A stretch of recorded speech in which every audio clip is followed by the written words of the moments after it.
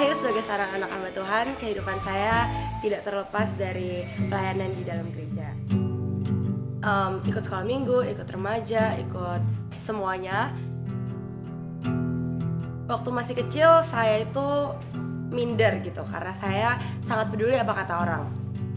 Waktu SD saya uh, dengan segala sifat kekanak-kanakan saya, saya itu uh, minder karena teman-teman saya nggak sama kayak saya. Saya anak pendeta memiliki kehidupan yang agak berbeda dari mereka. Mereka kehidupannya lumayan hura-hura, sedangkan saya harus ya mengikuti aja apa yang ada gitu.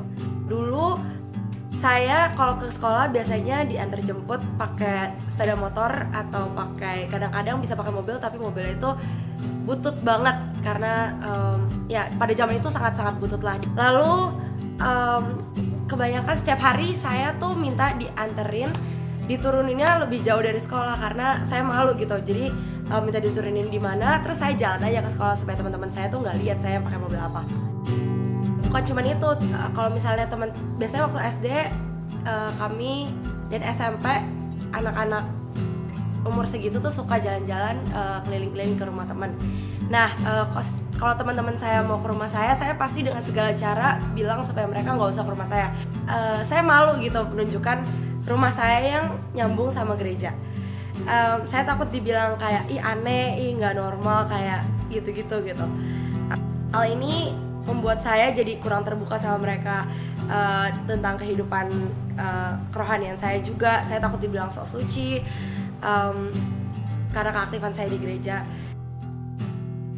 tapi setelah saya ikut pemberian saya diajarin tentang uh, gambar diri pemulihan gambar diri yang rusak dan uh, saya diajarin apa itu tujuan hidup sebenarnya. Setelah mengetahui kebenaran yang sebenarnya gambar diri saya dipulihkan dan akhirnya saya udah nggak minder lagi. Saya mulai terbuka sama teman-teman saya uh, tentang kehidupan rohani saya tentang uh, oh ternyata gue hari ini hari ini hari ini ada youth ada gereja segala macam. Dan I just knew that teman-teman saya ternyata look up to me gitu tentang hal-hal seperti itu. Mereka bilang uh, oh ya sebenarnya gue uh, kagum sih sama lo karena lo berani nolak ajakan-ajakan hangout sama kita buat ke gereja kayak dedikasi lo lumayan tinggi gitu.